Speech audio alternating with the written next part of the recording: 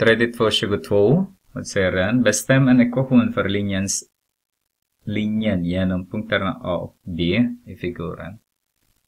A och B. Bestäm en ekvation för linjen genom A. Okej. Okay. Mm. Så har vi här 03 och uh, A och B 60. Så vårt K är eh, 3 minus 0 vi därmed med 0 minus 6. Då har vi negativ 0,5. Negativ 3 sjättedelar är negativ 0,5. Så har vi, kan vi använda en av dem. Ja, men m har vi redan, det är 3. Så har vi i är lika med k som är negativ 0,5. x är därmed 3. Det är vårt a.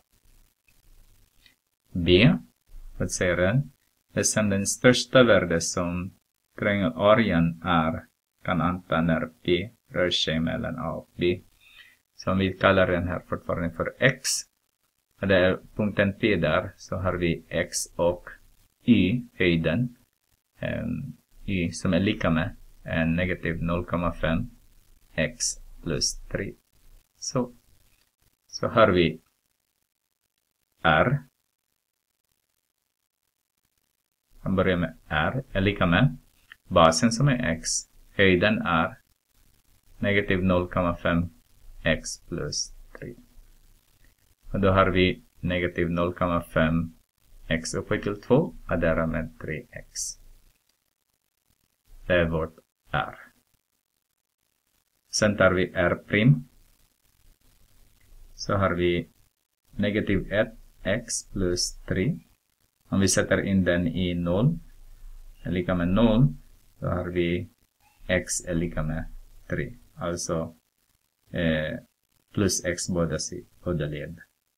Så har vi x är lika med 3. Så har vi eh, ett, en punkt, eller ett x-värde som vi ska testa, är 3. R och sen R så 3, det här är 0. Före det, eller 1, kan vi prova. Eller R prim 0 kan vi prova. Så har vi det är positivt. Det är större än 0.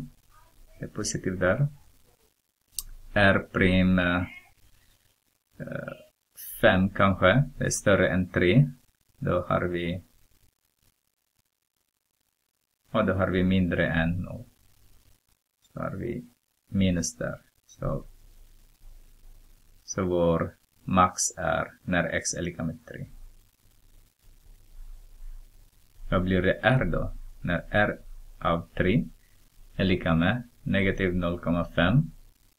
Här ska jag använda x upphöjt till 2. Det är eh, 9. 3 upphöjt till 2.